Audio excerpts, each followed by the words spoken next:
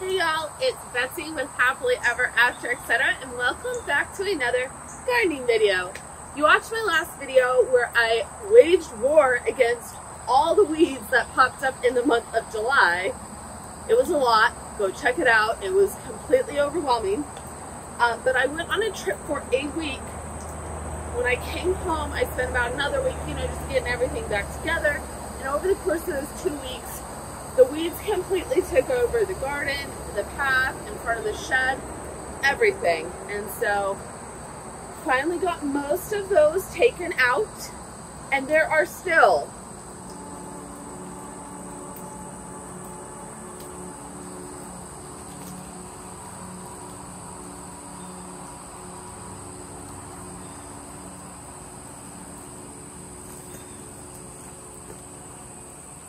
dozens of weeds in the garden that need to come out. There are uh, things like these foxgloves, hydrangea that need to be deadheaded.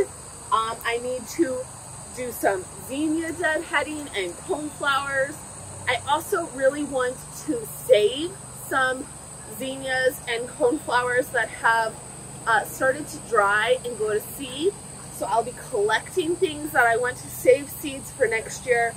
I will be pulling weeds and I will be deadheading and we're just gonna spend a couple hours giving the garden some good old-fashioned TLC um, and doing a little bit of maintenance. So I'm sure there are whew, lots more than I, I will ever get done today. There will still be lots to do, but we're just gonna do a little maintenance and see how far we get.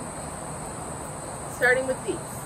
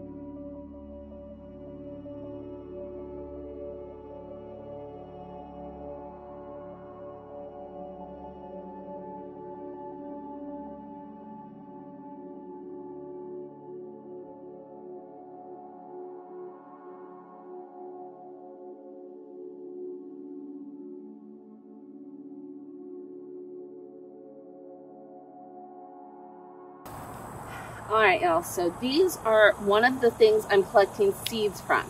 You can see the newer fresh flowers and the fresh growth coming on. But all of these should have been cut back a long time ago. So I'm to come in, cut all these old flowers off. Anything that looks dead gets a trim.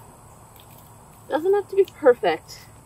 We're just going to collect all of these to see what we can get and to continue to promote the fresh new growth. So for everything that we cut that's still alive, it will push new green growth so that these will start to look better and not half alive. It is hard in the heat, but zinnias are typically one of the flowers that can actually handle the heat. So we can uh, get some water in here, get some fresh growth going. They should keep blooming for us all season. So.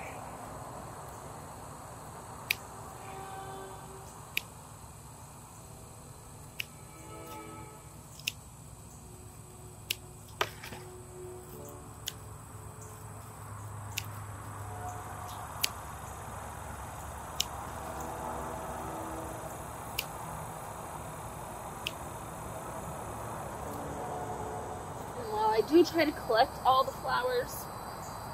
Any of the seeds that fall here on the ground will just reseed themselves for next year. So I had tall zinnias here last year, all of these. These reseeded themselves forward. So these are what I had last year in this space. I've left them to grow because I'm going to transplant them. And it might be too hot for that now. We'll see what happens, but I'm gonna move them all across the way now that they're big enough as soon as I get a rainy day. Because uh, they definitely will not live if you transplant them in the heat.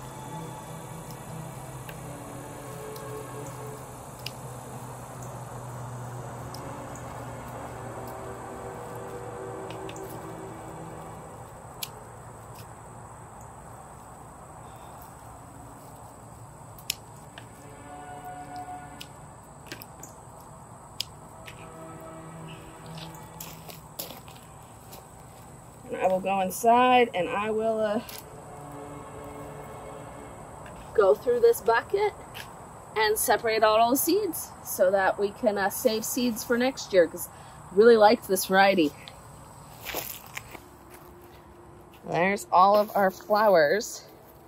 And here we'll have some like this that we need to let dry a little bit. But if we take one petal out, right there at the very bottom, that is the seed, that little arrowhead. So all these with petals will have seeds. A lot of these are, there was a seed. They will have not as much seed because they've already started to spread in the wind. But zinnias give you tons of seed and they self-seed regularly. So hopefully this whole area will self-seed for next year and we can plant these somewhere else.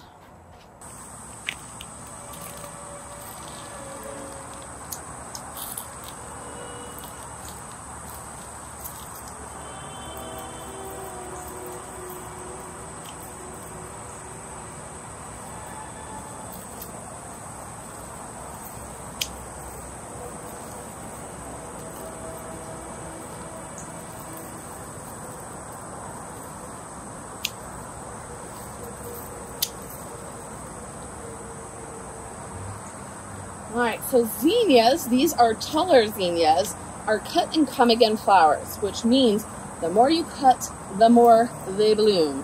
So, I'm gonna go ahead and cut out all the old flowers that I wanna save seeds from. Now I'm going to go through and pick all the pretty flowers and they will reward me with a fresh new uh, bout of pretty pink flowers in about a week. When you're picking them, you can go as far down the stem as you want, but you can see there's two sets of leaves here. So that's a good place to encourage new growth. I try to pick it above a leaf, leaf module when I can. I'm gonna cut that one down, I think. That one. And the size control them a little bit.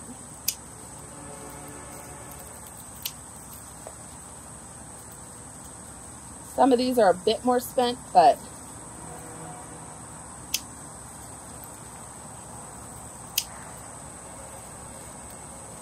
okay.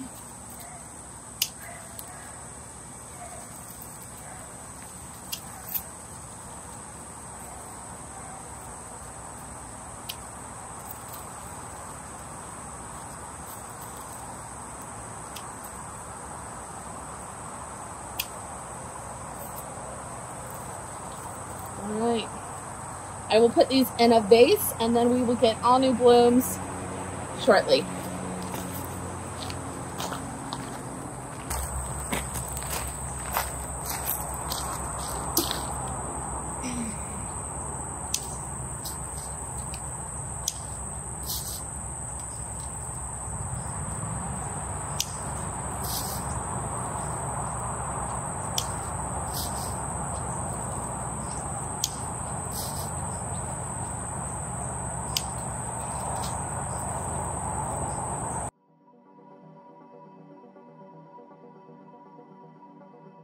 All right, y'all. I got two full buckets of deadheading done on this side, and the camera decided not to film any of it, so went ahead and deadheaded this little pop star hydrangea. You can see he is already pushing lots of new blooms, so I just went ahead and cleaned them up, cut all those old blooms off. That will look better and it will help encourage new growth. Then we did the roses. Now, these are the new knockout roses I got for my birthday. Y'all haven't seen them in bloom yet. It's a sneak peek for the July tour, but look how many buds are on them. I deadheaded them completely when I got them. They had zero blooms when we planted them. They pushed so much new blooms, new growth, and now they are just like thriving in this spot. Blooms, buds everywhere. I really need to already like shape them up a little bit because they're growing so well here, but I'm gonna let this round of buds bloom and then we'll have to sacrifice some buds to shape them. Didn't have to do anything with my twist and shout, although she is blooming for the first time. My mom bought me this on a whim. Thanks, mom. And then we got the mums. So we went ahead and let these bloom this season. Um, early in the season, normally in the south, you want to cut your mums back until July and then let them bloom for fall.